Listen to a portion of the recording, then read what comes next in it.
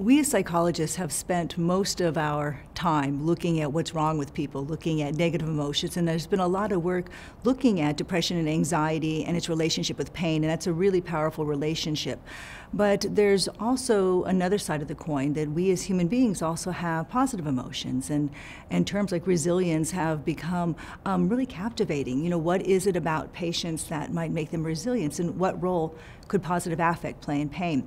And so, based on the field of positive psychology, we have developed a series of interventions to help patients in chronic pain settings do better. So, what we instruct patients to do is to reflect on the things that happened that day and think about something that made them particularly happy, and then write it down on a piece of paper and then put it in the piggy bank.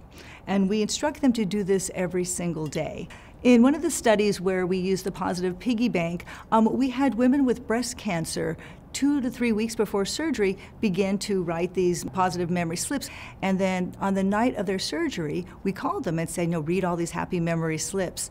And what we found in this very, very small study was preliminary evidence that just doing this simple positive piggy bank intervention greatly decreased their levels of anxiety pre-surgically. And we know that pre-surgical anxiety predicts just about everything we don't want to see in, in patients, especially post-operative pain.